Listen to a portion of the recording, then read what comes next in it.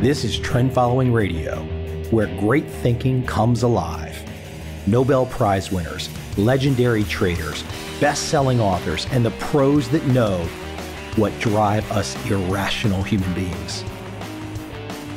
I am your host, Michael Covel. Not filtered, raw, honest. That's my passion.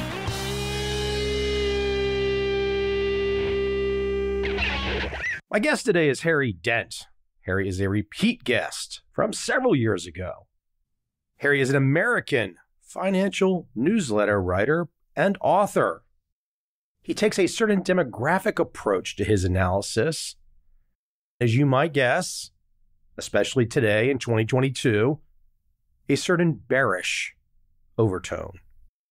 We cover a wide range of topics today. Harry has a lot of views about where things might go. Now, you know, as a trend following trader, I really don't know where they're going to go. But I do share with Harry some of that concern for the political economic moves being made these days. Without any further delay, let's jump right into my conversation today with Harry Dent. I hope you enjoy.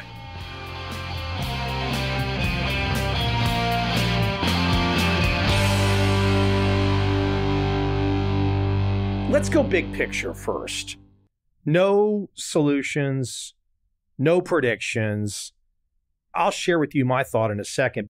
You give me the point in time that started where we are today because it didn't start this year or last year, or the year before. It goes back some time. Where do you place the point in time where the chaos of 2022 starts and by who? It started in early 2008. And by the way, Michael, that's something I predicted in my early books in the late 1980s and early 90s that the baby boom would have this enormous boom that nobody saw coming back then because there's so many of them. They're going to move predictably in their peak spending at age 46. It's that exact on average. Then the economy would weaken from 2008 through 2022 23. In other words, we would have a long term slowdown like we had in the 70s when the Bob Hope generation stopped spending, and like in the 1930s when the Henry Ford generation in the roaring 20s bubble, and that was the last time we had a bubble economy, burst. Is not only the generational peak, but we did get a bubble boom and everything real estate, commodities, stocks, even gold bubbled. And now this bubble, in addition to just a slowdown that would bring any stock market down to reality, we're bursting bubble, global bubbles. This is the biggest event. And it started when the stock market peaked in October 2007 and the economy first moved into a recession in January 2008. That was the starting point. And ever since, the central banks and the Fed keep saying, oh, this is a short term crisis, blah, blah, blah. If we just print a little money, we'll get over this. Well, 13 years later, they printed more money than ever until they had to reverse here because they overdid it with COVID. We've been living on printed money from 2009, the bottom of that recession, that's when they decided we're going to bring us out of this, started printing money, and they thought, oh, this will just take a year. And they printed a trillion. And you know what, Mike? I would have approved that trillion. When you're in a downturn, give a little boost to help us come out. But you shouldn't be printing money nonstop for 13 years without understanding something's wrong in the economy. What's wrong?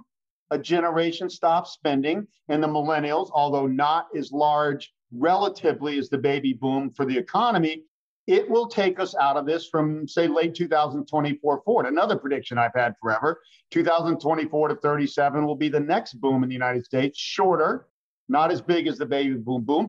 We're in a weak period. Actually, this is a good time to flush out the bad debts, take our hits in the markets and stuff, get things down to reality so the poor millennials can invest. No person now preparing for retirement in their 40s or 50s could even hope to make money with stock markets at these levels around the world. In fact, somebody predicted with these valuations alone, none of my predictions, downturn, nothing, you'd be lucky to make 2% a year. Nobody can retire on that. Let's take this back to your expertise. As I mentioned, I'm in Asia. Just anecdotally, I'll see stories often about demographics in Japan, demographics in China, demographics in India. It's often tough, as you know, it's tough sometimes, maybe more than sometimes, to connect the demographics exactly to when these booms and busts might happen. For example, I'm Gen X, so of course, baby boomers start to retire. They don't want to spend what there's like half of me at Gen X. So, yeah, there's a reason. Speak to me about this idea of looking at demographics. If you want to use China, for example, if you want to use Japan, for example, just to bring people into the idea of why an analysis of demographics can be useful information. First of all, I started out looking at five year cohorts and saying, oh, yeah, we'll peak between 2005 and 2010 in the baby boom. Then I ended up finding a 46 year lag. I got more detail on spending and found out that the peak in the United States is age 46. So the simplest indicator, Michael, ever was my first one in 1988, the spending wave. Move forward the birth index, which I adjust immigrants into, which you can do with a computer, simple computer calculate forward for the peak in spending, and it says biggest boom in history, 1983, will peak by late 2007 and turn into a downturn. This is something that is precise because the spending, we never had data like this. Only in the early 80s did the US, and I don't have this in other countries, survey people every year and tell us exactly when people spend the most money and in 600 sectors down to potato chip. We have data we never had before. Demographics are more important than ever before for two reasons the size of the baby boom, which exaggerated for the first time in history. Also, we became middle class after the assembly line in the early 1900s, i.e., thank you, Henry Ford, one of the greatest innovators in history, the Steve Jobs of his generation. The assembly line made us a huge middle class. We never had the everyday person didn't matter that much in history. Now they do. So that 46 year lag on the birth index tells you almost exactly when the stock market momentum and the economic momentum will peak and turn down. Again, I said back in my first book in 1988, the peak would be the end of 2007. That's very precise. Let me keep you at just two guys sharing. I'm curious, you just mentioned something not studying the international as much. I'm curious, I've seen reports that due to perhaps the one child policy in China, that they've got a demographics problem to where the 1.4 billion people, and I've seen various numbers argued, could literally drop by 700 million people in the next 25 years. That they don't have enough coming up. It's going to be this top heavy, like Japan, top heavy older countries. Do you do any look at those particular countries? Everything I do, I do internationally the demo we have these age distributions. Sometimes they are only in five year cohorts there but yes. I'll tell you what you mentioned earlier asia that's the next frontier obviously. You couldn't be more different than japan and china and india. Japan was the first developed country to peak in 1996 their bubble peaked in 89 they had a burst and then their demographics turned down after 96 japan has had zero growth. Stock market has been sideways for 30 years People just think, oh, bad management or bad monitor. No, they've been printing money forever. They were the first developed country to peak, and then Europe followed in the US and blah, blah, blah. And keeping Australia will be one of the last. The emerging world, China is the first emerging country and the largest and one of the wealthiest at this time to peak. China's one child policy does give it less favorable demographics. And by the way, China already peaked in 2010 to 11. Their demographics for decades to come in spending already peaked. The reason it doesn't mean an ultimate peak quite yet for China, they've only gone from 20 to 60% urban in the last few decades, and they're still going to go to 80%. Urbanizing triples the income. People in urban areas make triple what people in rural do in emerging countries like China and India. China still has some growth from urbanization, but guess what? They already built 22% empty apartments and office buildings, which is enough to house all those other 20%. China really is seeing a long term peak here, but won't really falter more for a little bit down the road. India's just getting on it. India's spending wave doesn't peak till 2065. So Japan peaked in 96. China 2010 11, and India all the way out 2065. And they're in the same part of the world. I talk to a lot of people in this podcast. I tell people sometimes I'll talk to guests. I feel like sometimes I have to carry the conversation. I don't have to carry the conversation with Harry Dent. Okay. So why do you have so much energy? Tell me something about you. I always had that. What I did, my parents almost disowned me. I got out of Harvard Business School, got a dream job with Bain and Company. I mean, frankly, just doesn't get better than that. I got an offer through a friend to take over a small publishing company in California that's in trouble. Something to me just said, go for it. I got to be a CEO of a $20 million company at age 27. Even Harvard Business School doesn't let you do that. I took that, and that's where I learned the most. Yeah, Harvard Business School was great. Working with new ventures, I was seeing this is what causes growth. I'm seeing the people who start new technologies, new trends, not the Fortune 500 that are just maturing and making them a little cheaper, a little better, and gaining market share. I really saw this is the key. And for those clients, I started studying what are the cycles in innovation, demographic, all this research I did in conjunction with being a CEO of several companies and consulting to many more in the innovative realm. That's when I got my aha. Oh, I'm supposed to go in Bain and Company, consulting to Fortune 500 companies, and then maybe move into Fortune 500 company. No, I got lucky and was thrust into the new venture realm where the real action, and as Steve Jobs says, the way to see the future is to create it.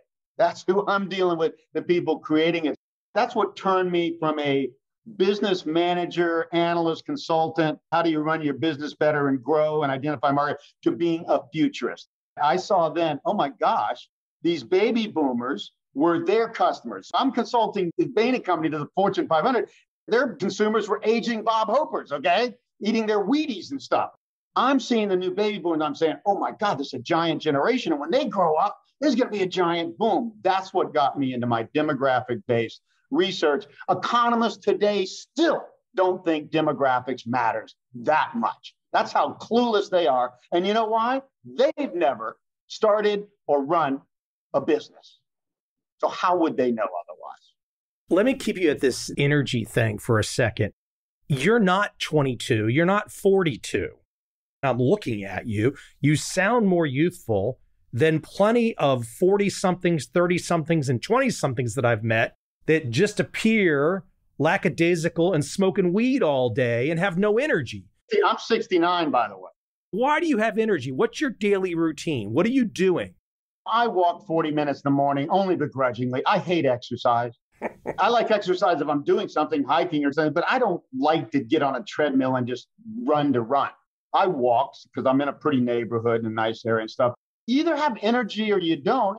And I get into something, I get passionate about it. When I saw this first indicator, when I saw, oh my God, we know exactly when the average person spends the most money, age 46, and I lagged that and saw a total correlation with the S&P 500 adjusted for inflation. Holy crap! This is the holy grail, and I just stumbled on it.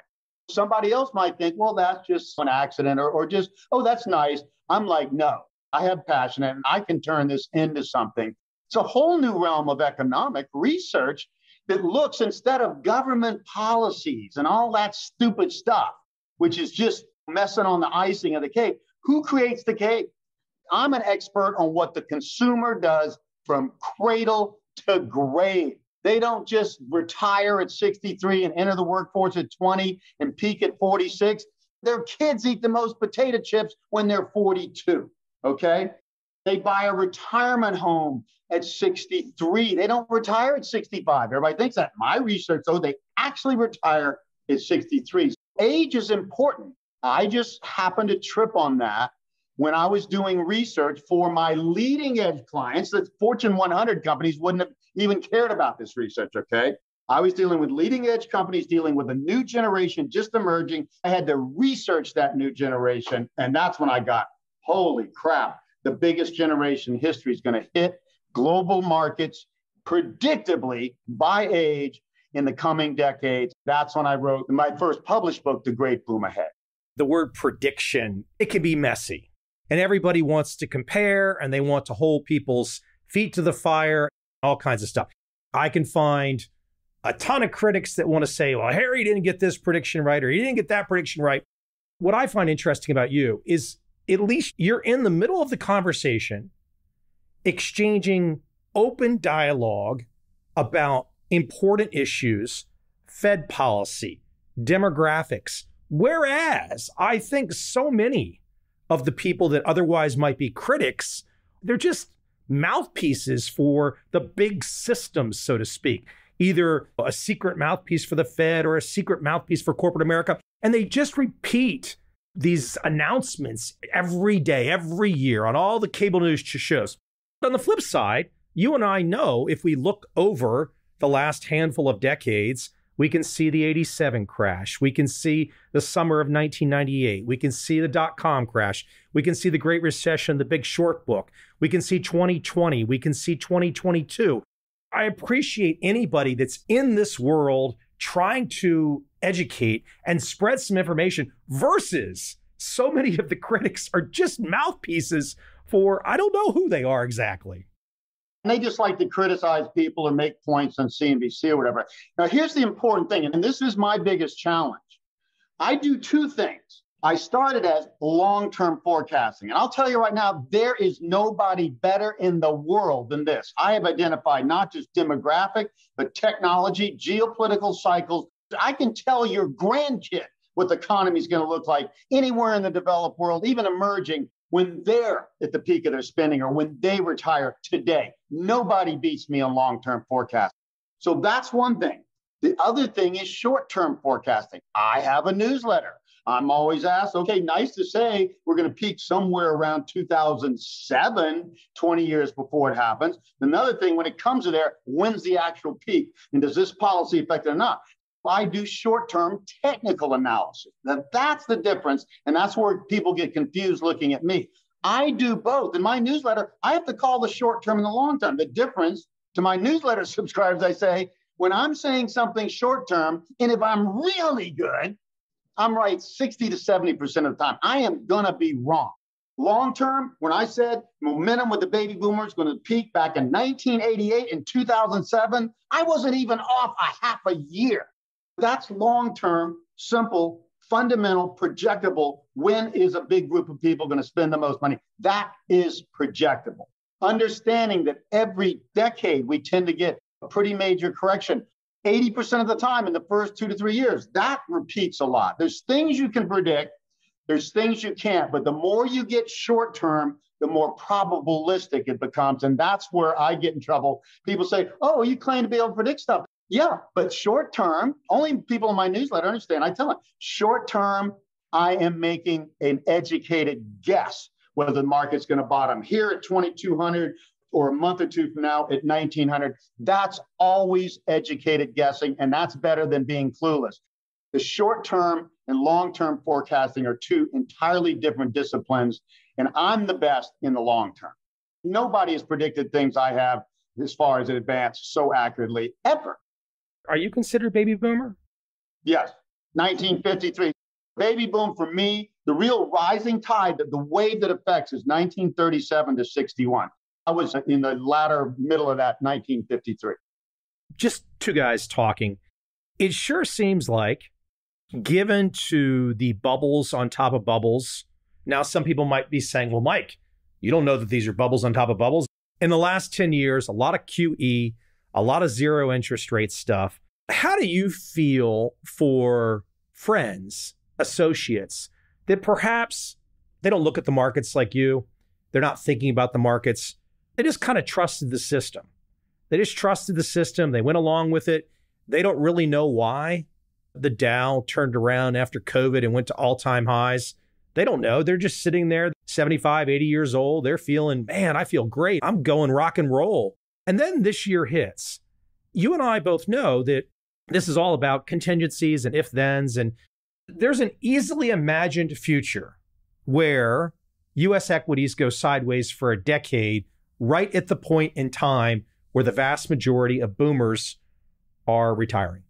Exactly. And that's something I've been warning for a long time. The baby boom that created this great boom, as they start to retire, they're going to suffer the Gen X downturn is which is going to hurt the returns on their portfolio. It's not going to hurt their jobs as much because they're going to be retired by then, but it is going to hurt the returns on their portfolio, which is what they retire on it. And that is a problem. I mean, in other words, Every generation, I'll lay it out right now 1930 to 42, sideways the down economy for 13 years. 1968, peak of the Bob Hope generation spending cycle. Into 82, the bottom, 14 years sideways to down. And now 2008 through about 2023, sideways to down. The only difference this time, since the central banks have fought this downturn so hard and pumped it up, we're going to have to go down one more time when this stimulus fails, and they've been forced to tighten, by the way, by their own extremes. This is probably not going to bottom until 2024. Naturally, I predicted way back that we would have a sideways long term downturn, much like 1930 to 42 from 2008 to the end of 2022 for the stock market and end of 2023 for the economy on a lag. Now you're going to have to put that out about a year or so because the central banks have messed with the economy so much. There's been a lot of news in the last week over in the UK. Some of the fixes their government had to roll out, and who knows exactly what those fixes were behind the scenes. Essentially, it was a pension problem. There's a pension problem in America too. A lot of these are government pensions, which is really interesting because there's really not private pensions anymore. So you have a very large segment of America, unbeknownst to them, bailing out government sector pension funds, which the private folks don't even have. Speak to this idea, though, of facing a lost decade potentially and pension funds not having the returns. As you say, people, they're using their, they're retiring and the money they have, that's they're retiring on. We really could be in a situation where boomers now, they could be in real trouble, is the point that I'm getting to. This is a predictable crisis. A big boom happens because of a large generation, then they retire, and then they're depending on government, social security, and pensions and stuff that have been invested for them. Then their slowdown and their retirement kills the economy, which kills the returns on all these funds. That is the case here.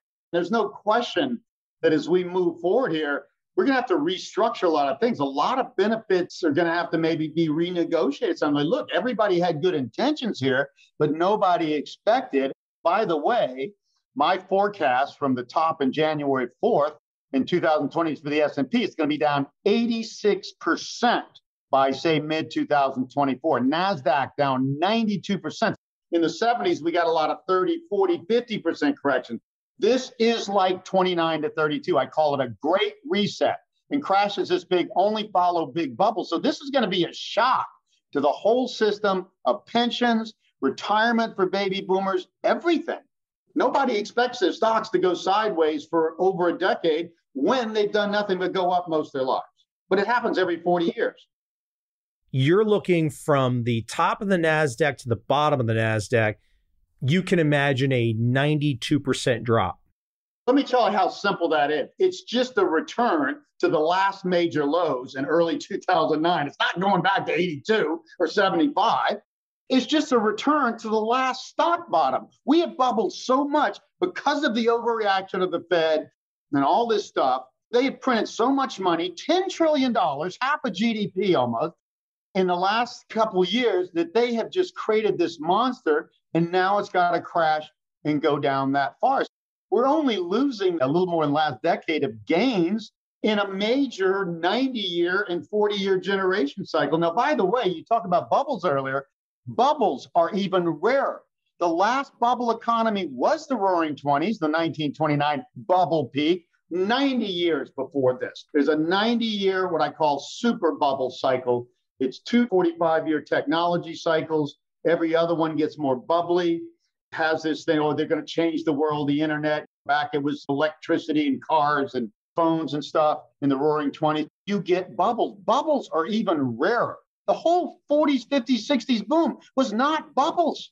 The first bubble had mini bubble 87. Ooh, big bubble. Tech bubble number one, 2000. Well, tech bubble number two just peaked in November 22nd, 2021. Bubble bursts are more damaging and more extreme than normal generational bursts. That's why a 92% NASDAQ is very similar to the 89% Dow crash of 29 to 32. That's the only thing you can compare this to. Now, people tell Harry, that's too extreme. No, I'm comparing apples to apples. You call me extreme because you don't understand where we are on an extreme bubble and burst cycle, which has happened in the 1800s and the early 1900s. This has happened before twice since the Industrial Revolution. You have to look at understand. And if you understand this, I don't look stupid anymore. I don't think you look stupid. Crazy. People think I'm crazy. It's not my expertise to make this. Even Jeremy Grantham is predicting a 50% downturn, 92%. Okay. That's crazy. It's not my expertise to be able to make a prediction of the NASDAQ going down minus 92%. However, let me add a few data points.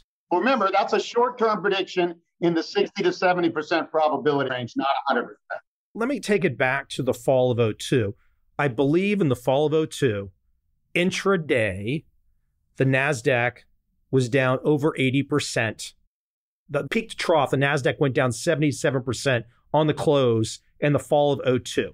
If we also look at, you brought it up, March of 09, that was the bottom for the three US equity markets. If something didn't happen there in March of 09, the Fed changing of accounting rules, etc., it wasn't like US stocks were going to not keep going down. They were absolutely headed down. And there was emergency hanky panky behind the scenes. I think on first blush, people might hear minus 92%, 60 or 70% confidence level there. It's not hard to imagine, given everything that we've seen since the dot com bubble, which has been literally 22 years of madness. This is a bigger bubble and more global. You would expect a second bubble, similar, but even bigger and more extreme and more global, to have a bigger crash. 92% compared to 78 doesn't sound crazy. You're exactly right. People have to have that perspective. They don't. Most people don't remember the NASDAQ went down 78%. Here's the most important point. It did that when a boom was still in force. The demographics were still positive then. So, of course, you're going to come out of it a little earlier and stronger than you're going to come out of this one when the demographics are dead. The only way we came out of the NASDAQ drop was because they dropped rates to basically zero and created the real estate bubble. It was all kind of connected. Exactly. They just switched the bubble from tech stocks to real estate. Exactly. And that's worse. Real estate bubbles are much more damaging to many more people. It's amazing how much things have changed in just 14 or 15 years because nobody thought US real estate could go down. Today, you would think that that's such a distant memory. We're right back to where we were saying in 08, real estate can't go down. It really didn't much. Even in the Great Depression, real estate only went down 26% because back then lending was so restrictive that you really couldn't have a bubble like you could now. So you're right. We had bubble. The real estate bubble came out of the tech bubble crack first real estate bubble peaked early 2006, a crash nobody thought exactly. People tell me the one thing that will never go down is real estate. And that's why people switched to real estate after tech stacks crapped on them. Well, now we're in the second real estate bubble this time. And again, why this is such an important point the real estate bubble, the stock bubble, and just before them, the commodity bubble, every and globally, it's all peaking together. Stock bubble peaked in 2007, 2000, real estate 2006, Stocks again in 2007, but this time everything and globally is peaking together. Here's my indicator the simplest way to view this for people. If you thought 2008 to 9 sucked, multiply that times 1.5. It's going to last 50% longer. It's going to be 50% deeper. Stocks, real estate. Instead of real estate down 34, it's down 50. Instead of stocks down 57%, the S&P is going to be down 86 for the S&P 500. And instead of lasting a year and a half, it's going to last two and a half years. That's my view simply. 2008 to 9 should have been 30 to 32. Governments blew us out of that, so we didn't get to get out all the bad debts and, and zombie companies. Now we're going to have to do it on the backside instead. This downturn is going to take us lower, and that's my forecast. And I'll tell you, from what I'm looking at, it's pretty damn clear. It's not a wild forecast given how big a bubble this bubble was more extreme. And it's an everything bubble for the first time ever. There's something that we've really not talked about in this conversation, which you could say is extra gasoline on the fire to potentially back your perspective. The Fed was not facing this issue in 02 when they brought rates down. They were not facing this issue in 08 or 09. But now we've got radical inflation. By the way, totally artificial. My research also early on, I got that one year after the spending wave, the inflation indicator. It's just workforce growth on a two and a half year life. It's incorporating new young workers at great expense to parents and governments initially, and then totally to the economy and businesses when they hire them and train them. That's what causes inflation. The 70s inflation was a natural inflation. It wasn't government deficits causing that. That was nothing. This is 100% artificial. Well, this is the Fed. Zero to 1% now, and it's at over nine. That was totally from printing $10 trillion fiscal and monetary stimulus in two years. this is totally artificial, totally created by governments. The only good news is because they went so far overreacting to COVID, which was a natural disaster in the first place. So why overreact? Not like somebody did something wrong in the economy. But because of that, they're forced to tighten and they're saying, oh, the economy's so strong, it can handle this tightening. No, the economy is only strong because all that stimulus. And you not only withdraw it, but turn it to tightening. This economy is going to get weak very fast in the next year. And I don't think they're going to be able to turn around fast enough to stop the slide. But that's the million dollar question now. They will try to go higher than ever. Will people lose confidence in the Fed after the last stimulus, bigger in history, failed so quickly?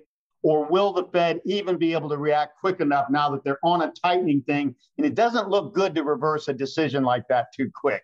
That's really saying the economy's weak when you tighten because it's too strong and you suddenly turn around, oops, we were wrong. It's really weak. I don't think they're going to react in time. Just a side tangent here. We've been talking about the boomer generation. I can think back to my grandparents. I guess that's the greatest generation, so to speak. Now there's finally some interest income. But for the longest time, to have all these folks facing retirement and to have interest income removed from the system, they, they can no longer get any consistent cash without buying junk bonds. right. Telling these older folks that you've just got to stay jacked into equities at 70, 80, 90 years old and hope you can make your quote income through growth gains and equity markets. So many aspects of society have just got turned upside down in the last 20 years. Yeah, and again, have to make it on equity gains when models that have nothing to do with growth in the economy, just on valuation, say the best you could hope for in the next 12 years is a 2% a year average gain in stocks when people need 7, 8, 9, 10%, and been getting more than that for decades. You're right. People are not going to see this shock coming in portfolio returns like in this conversation started. It's going to affect the entire retirement system, pensions, people's personal savings for retirement. And baby boomers are going to realize, oh my gosh, I can't afford to retire. Then on the other hand, oh my gosh, the economy's crashing. I may get fired or I may not be able to get my job back. All I can do, I can't change this people following me, this is no surprise. I've been forecasting this would happen for decades, not just recent years. If you see it coming and you get out when the gains are overvalued, people have had more gains than they deserve in the stock market and real estate for a long time. You get out near the top, and all you have to do, because the good thing about crashes is they happen a lot faster than even bubble booms, okay? A bubble boom may take five years to really bubble up. The crash takes two and a half. A short period of time, everything comes down to reality. You protect yourself and get more defensive. And then you get to buy long term assets, real estate, stocks, and stuff, gold and commodities again at bargain prices that'll give you strong returns again. This is the best gift an investor could have. The problem is 98% of people aren't going to see it coming. If they just heard me in a casual interview, they'd say that guy's crazy. There's no way the, stud, the NASDAQ can go down 92%. The Fed won't let it happen. Well, the Fed caused this damn bubble. What do you mean? They're the cause of this thing, and the bubble is the cause of the crash, and they're not going to be able to stop their own bubble. They've taken it so far. Here's the thing, too, to keep adding extra data points from around the world onto the top of this conversation. The yen down almost 30% this year. You've got China real estate and all kinds of aspects of China society in a mess the overdoing it on COVID. In Europe, clearly the entire continent is having to refigure out how they do energy a few months before winter. On top of that, you've got war chants going on. It's really an amazing period of time to where not only all the issues that you and I have been talking about, many of them American centric, you look around the world, at in some ways, independent type events, it's a cautionary time to me. We don't know exactly what's going to happen, but it's a cautionary time for people to at least raise their antenna and pay attention. That's why these fundamental cycles are important. When the economy is growing, you have a growing pie. Well, everything's easier to take. Oh, war's easy to finance, or people don't even want to fight war. They're too busy making money. When the economy starts going down, warfare will go up. Budget deficits will go up. All types of things will happen. The whole system goes into shock. It's not just stocks go down and people lose some money on stocks, or the economy slows and business have to lay off some workers. It's easier when things go up and everything gets more difficult. People are going to fight and react more vigorously when things are going down just because people are uncomfortable. There have been wars in history started just to pull a country out of a recession or a depression. What do you say to some of the young people? We haven't really brought them up though, but the young people in the last decade have gone down their own path. Perhaps they were influenced by the Great Recession, didn't trust the system. Bless them. I can understand that 100%. But they went down a path with first Bitcoin, then crypto, and then Dogecoin and all kinds of stuff. Clearly, some early adopters have done exceptionally well. I salute being in early on the speculative bull, but a lot of people have gotten killed. A lot of people have been taken to the cleaners. What's your perspective on crypto? Crypto is the future. It's the digitization of all financial assets and money globally. It's the base for a whole new global monetary system. And here's the bad news about that that's going to take decades to happen. This is just like the dot com stocks. Remember the dot com in the first tech bubble? Amazon went public in 97 and $6 to 136, and then the crash went all the way back down to six. It's a shakeout.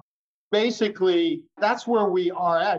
We're in a second tech bubble that's getting ready to crash. Again, crypto is that new leading edge thing in what I call its baby bubble, like the dot coms and Amazon had from 97 to 2000 and then crashed. Crypto, my only forecast worse than a 92% NASDAQ down is Bitcoin down 95 to 96% to about 3,200.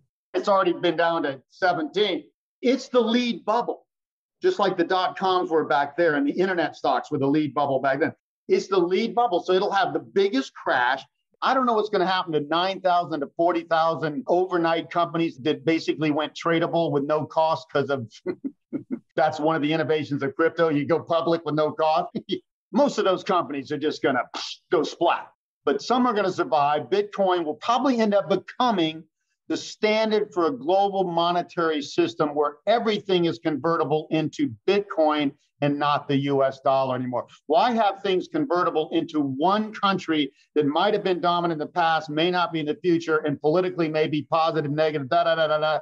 Bitcoin becomes the neutral arbitrator. That's the future of crypto digitization of financial assets, Bitcoin becoming the standard for a global monetary system so that it can be more transparent and governments are held accountable for monkeying with their currency. Now, they already do that. We print money, our dollar is going to go down. Whoever's printing the most, this will be even more direct. I think crypto is the wave of the future, but it's in its baby bubble and it's going to have the biggest burst of all. I'm not going to even look at Bitcoin till it's in the three to 4,000 range. And then I will probably buy some. You give the very optimistic perspective on Bitcoin. I think a lot of people would probably take very different perspectives. Like it's an invisible coin. I think the thing for me is there's no movement. There's no movement in the current existence that we're seeing right now for Bitcoin to reach what you just described. How far ahead are you looking? And look, it might not be Bitcoin, maybe it's something else, but how far ahead are you looking to the potential where you can imagine some independent blockchain technology becomes a store of value that people trust more than national currencies? How far ahead are you looking? A decade or two. My forecast is that Bitcoin will go down to about three to 4,000 and eventually go up to half a million to a million. 780,000 is my most precise guess by about 2037 to 40. It'll come up in our next boom. It'll be just like the internet came in the dot com crash and the early 2000s recession, all that stuff, and then came out into the boom following that. Okay. Well, this comes out into the next boom. It's in its innovation stage. It's going to be a huge shakeout. Like I say, 40,000 coins, forget it. They ain't going to have 40,000 coins. That was just the way people went public cheap. Those companies will still exist, but nobody's going to care about their coins ever. They're just going to disappear. Let me keep you at this for a second because this is really interesting. It's controversial. Explain to me how you can imagine countries like America, China, the euro losing their power. Because if America doesn't have the power to maneuver with the dollar, for example, like we've seen in the last handful of years, if they don't have that power to maneuver with the dollar, what kind of country is America? First of all, that's not how I would see it happening. Everything's convertible into the dollar. The dollar is the global standard for money. Everything's convertible and measured against the dollar. And that's crazy because the dollar is variable and stuff. Now, so is Bitcoin right now. But if Bitcoin was mainstream and worth half a million, a million dollars a coin, and everybody had and is accepted by then, 190% adoption, the difference in Bitcoin is it's neutral. It's the only thing to be global. US is not neutral. Russia's not neutral. UK's not neutral. China's not neutral. It could be that global standard. And that's what I could see. And for Bitcoin to be what gold used to be the standard before we kicked it off in 71, Bitcoin in that half a million to million thing becomes increasingly worth more than all the gold in the world. So Bitcoin can grow with the global economy better, can be worth more than gold. It's a better standard, but not now. Global Bitcoin is more volatile than anything, and it's still small. That's why Bitcoin would have to boom for a long time and get up to that level of value before it could be seen as a global accepted asset that could be used instead of gold as a new standard for a digital global system. Countries still can print their own money, it's just measured against Bitcoin there's to be a US dollar. You can still print money if you want to, ill advised, but you can still do it. Does Bitcoin forecast that you make, if that's to come true, doesn't that take power away from something like the Fed? It does. And that's a good thing. What's the problem today? Is governments have raced to see who can print the most money, creating the biggest bubble in history. And when everybody's fine with it now, wait till it crashes. People are going to be P I S S E D. This is what allows a new standard. Right now, would anybody vote for Bitcoin as a standard? Is Bitcoin becomes more acceptable predictably on S curve, an adoption curve like anything else, and people see the whole international monetary system break down like the early 1930s. You can't imagine what I'm saying happen until you put that scenario through, and then people are really pissed and people are realizing nothing works, so we need something new. And you know who has confidence in Bitcoin and crypto? The young people who are going to drive the next boom when baby boomers are dead. That's how it happens. New generation and things that don't look possible now become possible. I hear you the way you're responding. I guess my point ultimately was is that the central banks will fight Oh, absolutely. They don't want this. No, that's what I'm getting at. That's what I'm getting People at. will have to start saying, if you guys keep printing money and doing stupid stuff, we're just going to put our faith in Bitcoin, favor the systems or the countries that do that. It's the young people going to revolt and say, hey, we never really liked this system in the first place. Now that it's crashed and burned, more like the early 30s, which people said would never happen again.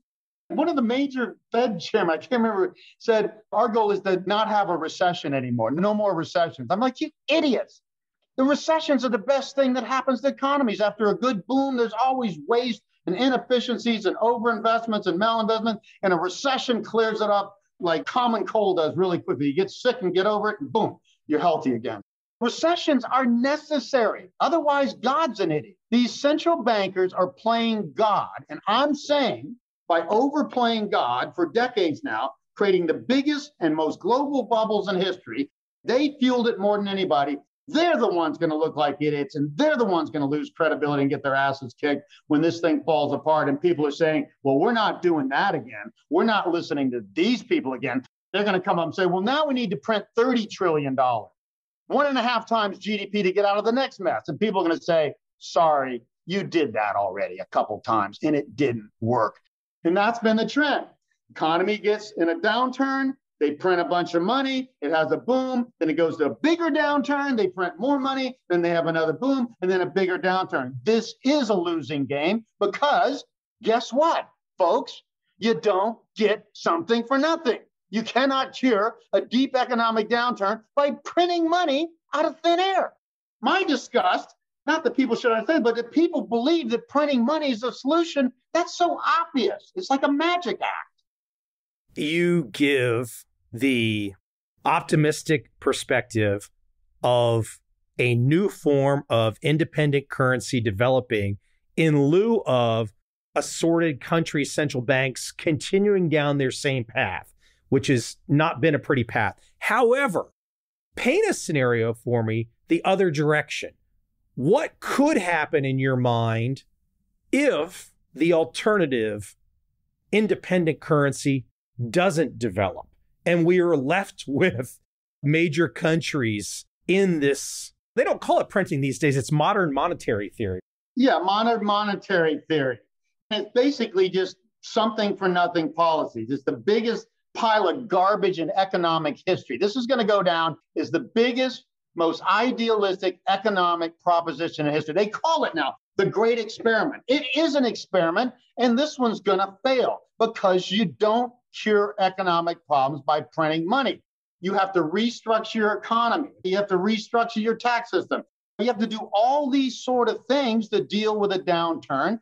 First of all, thinking downturns are a mistake by God and something to be fought is stupid in the first place. Recessions, you cannot have a boom without a recession because without a recession, you don't clear the decks in efficiency for the next boom politicians and economists see recessions as the enemy. No, the way to minimize a recession is not to go crazy in a boom.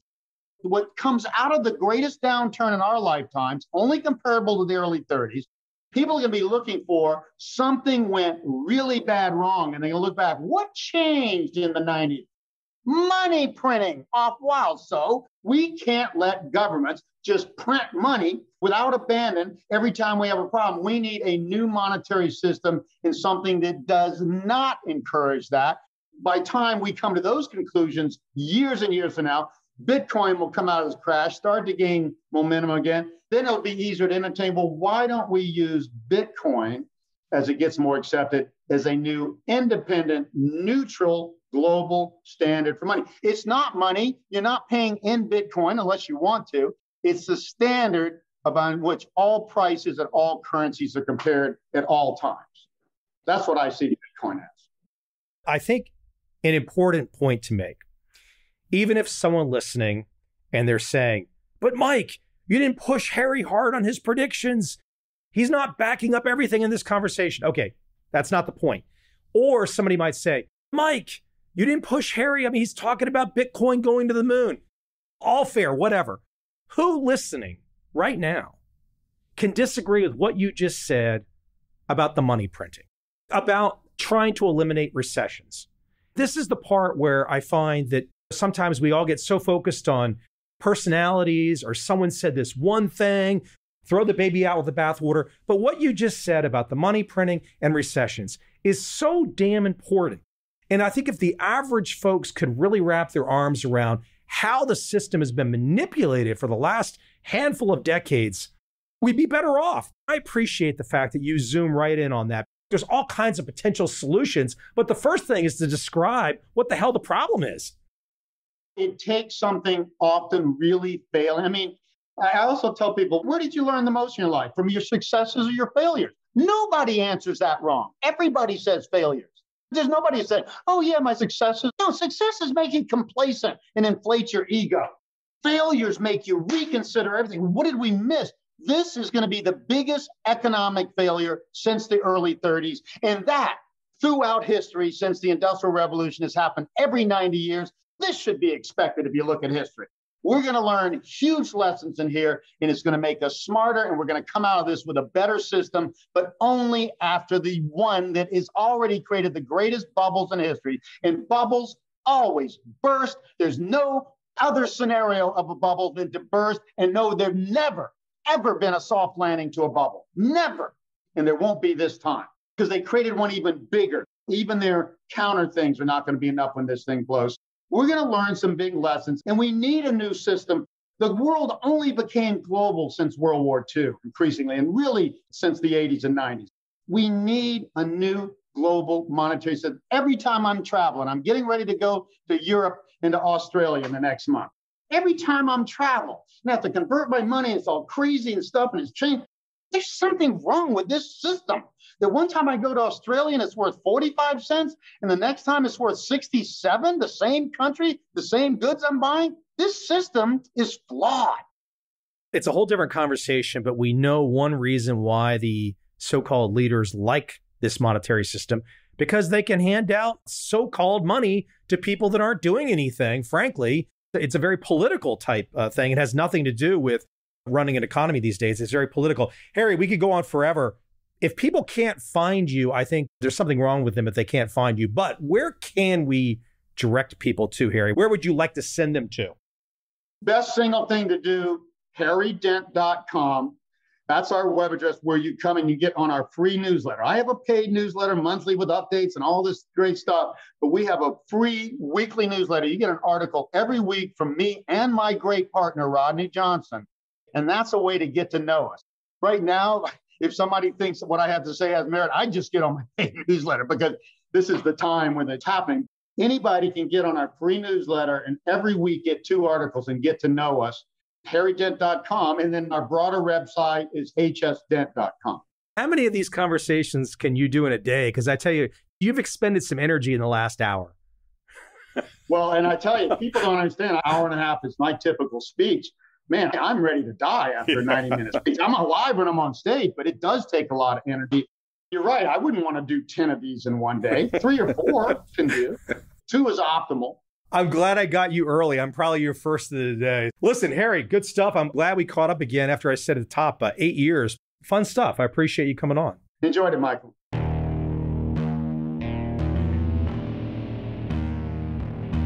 I see a time when those awake will understand how to make money in up, down, and surprise markets. Whether new trader or experienced, college student or financial advisor, protecting against a crash or just trying to make a lot of money, trend following offers everyone an answer in uncertain times. To get started immediately, send me an email, michael at covel.com. I will send you the right trend following steps to take along with my free video. But if you want to buy and hold, trust the government and trust Wall Street, this is absolutely not for you.